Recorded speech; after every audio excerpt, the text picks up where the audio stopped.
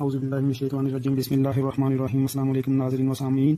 آج جو دو, جو دو جولائی بروز جمعرات جو کالم ہم آپ کے سامنے پیش کر رہے ہیں یہ مسمل سہورتی نے لکھا ہے اور اس کا عنوان ہے پاکستان کی ترقی کیسے ممکن ہو سکتی ہے۔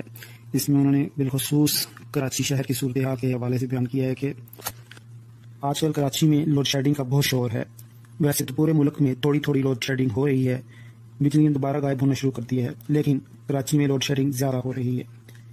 لگتا ہے پرانے دن واپس آ گئے ہیں۔ جب بجلی آتی کم اور جاتی زیادہ تھی۔ گرمی کے اس موسم میں بجلی کا چلے جانا کسی عذاب سے کم نہیں۔ سوال یہ ہے کہ آج جب ملک میں بجلی موجود ہے تو پھر یہ لوڈ شیڈنگ کیوں؟ لیکن میں اس پر حیران نہیں ہوتا۔ ملک میں پٹرول موجود تھا، لیکن پھر بھی پٹرول غائب تھا۔ چینی موجود تھی، لیکن مہنگی ہو گئی۔ آٹے کی بھی یہی صورتحال ہوئی۔ ادویات کے ساتھ بھی ایسا ہی ہوا ہے۔ اس لیے بجلی کے موجود ہونے کے باوجود بجلی کا نہ ہونے کا کارنامہ بھی صرف یہی حکومت کر سکتی ہے۔ کراچی کے ساتھ ویسے تو ان گنت زیادتیاں ہوئی ہیں، انہی زیادتیوں نے آج کراچی کو بدحال کر دیا ہے۔ کراچی پاکستان کی ترقی اور خوشحالی کا دروازہ ہے، لیکن ہم نے اس دروازے کو اتنا خستہ حال کر دیا ہے کہ اب سمجھ نہیں آ رہی کہ کیا کریں۔ میرا شبہ کراچی کے ساتھ ستیلی اولاد جیسا سلوک کیا گیا ہے۔ یہ شہر پاکستان کا کماؤ پوت ہے اور ہم نے اپنے کماؤ پوت کو ہی بھوکا رکھا ہوا ہے۔ کبھی کوئی گرانہ اپنے کماؤ پوت کے ساتھ ایسا سلوک کرتا ہے، لیکن ہم نے کیا کیا ہے؟ آج کراچی کے جو حالات ہیں، اس کے ہم سب برابر کے ذمہ دار ہیں۔ لیکن پیپلز پارٹی چونکہ سندھ میں بارہ سالوں سے مسلسل حکمرانی میں ہے، لہٰذا وہ کراچی کی اس حالت کی زیادہ ذمہ دار ہے۔ کراچی کی نسبت لاہور بہت خوش قسمت رہا ہے۔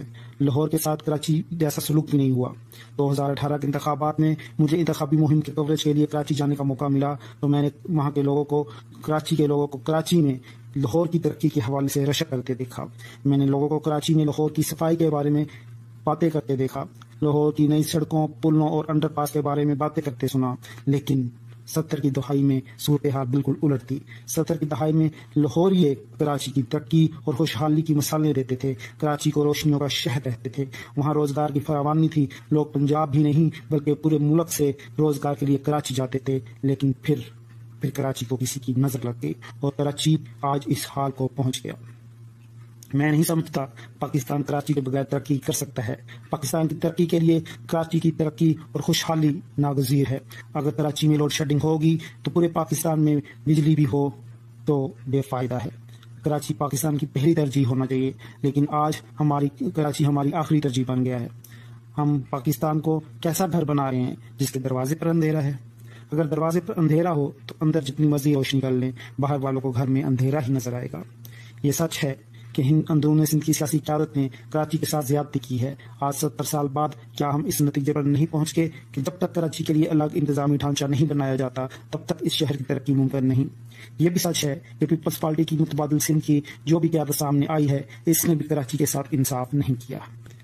سندھ کی تمام حکومتوں نے کراچی کے ساتھ تقریباً ایک جیسا سلوک ہی کیا ہے، اس لیے کراچی کو سندھ کی حکومتوں کی تبدیلی کا کوئی خاص فرق نہیں پڑا۔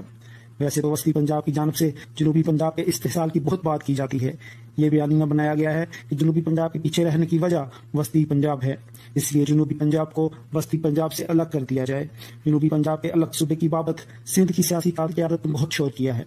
پنجاب کی تقسیم کے لیے ایک ماحول بنایا گیا۔ جنوبی پنجاب کے نام اور پنجاب کی تقسیم پر بہت سیاست کی گئی ہے۔ لیکن جو ہی کراچی کی سندھ سے علیحدگی کی بات کی جائے تو وہی لوگ جو پنجاب کی تقسیم میں اس کے حق میں دلائل دیتے نہیں تھکتے، آگ بگولا ہو جاتے ہیں۔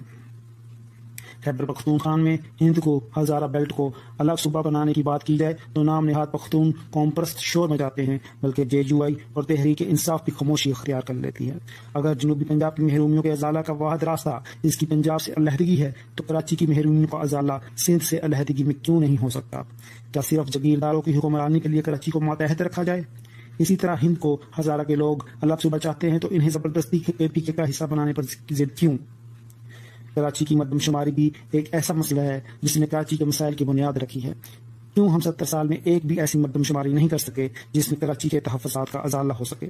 کراچی کی سائنٹیفک بنیادوں پر مردم شماری کیوں نہیں کی جا سکتی جس سے دودھ کا دودھ اور پانی کا پانی ہو جائے؟ کہا جاتا ہے کہ مرحوم ذوالفقار علی بھٹو نے بھی مردم شماری میں کراچی کی آبادی کم کرنے کے احکامات دیے تھے۔ اس کے بعد ایسی روش چلنے کے لیے ہے کہ ہر مردم شماری متنازع ہو جاتی ہے۔ پنجابی زبان بولنے والوں کو تعداد کم دکھانے کے لیے سرائیگی کا تڑکا لگایا گیا۔ ایسا تڑکا کے پیچھے میں ہند کو گوجری کوار اور چترالی زبان کا کیوں نہیں لگایا جاتا؟ بلوچستان میں پشتو، براہوی یا یا مکرانی زبان کا کیوں ترک ایسا نہیں لگایا جاتا؟ یہ رائے بہت مضبوط ہے کہ اگر جنوبی پنجاب کی محرومیوں کو دور کرنے میں، دور کرنے کے لیے پنجاب میں جنوبی پنجاب سے وزیر اعلیٰ لایا جا سکتا ہے، تو کراچی کی محرومیوں کو دور کرنے کے لیے کراچی سے وزیر اعلیٰ کیوں نہیں لایا جا سکتا؟ سندھ میں کوٹا سسٹم نے بھی مسائل پیدا کیے ہیں۔ ایسا کیوں ہے کہ پنجاب، کے پیٹر اور بلوچستان میں کوئی کوٹا سسٹم نہیں ہے؟ اب دنیا بھر میں میرٹ کی بالادستی ہے۔ ہمارے نوجوان کو دنیا میں اپنے میرٹ کی بنیاد پر مقابلہ کرنا ہے۔ ہم کیسے کوٹا سسٹم کی رسم کو جاری رکھ سکتے ہیں؟ وقت کا تقاضا ہے کہ صرف سندھ میں ہی نہیں، بلکہ وفاقی سطح پر بھی کوٹا سسٹم کو ختم کرنا چاہیے۔ سی ایس ایس میں کوٹا سسٹم بھی میرٹ کا قتل ہے۔ ذہین اور قابل نوجوان صرف اس کوٹا سسٹم کی وجہ سے پیچھے رہ جاتے ہیں، جبکہ نلائق آگے نکل جاتے ہیں۔ ایسا نظام پاکستان کی ترقی کی راہ میں رکاوٹ ہے۔ ہم نے اگر پاکستان کو ترقی کی طرف لے کر جانا ہے تو بلا تفریق میرٹ کا نظام لانا ہوگا۔ اسی میں پاکستان کی ترقی ہے۔ کراچی کو اس کی آمدنی کے حساب سے حصہ ملنا چاہیے۔ لیکن ابھی تو سوال یہ ہے کہ خدارہ خدارہ کراچی کو بجلی تو دے دے بجلی کراچی کا حق ہے۔ ہم وفاق کی زیادتیوں کا ملبہ بھی صوبائی قیادت پر کیوں ڈال رہے ہیں؟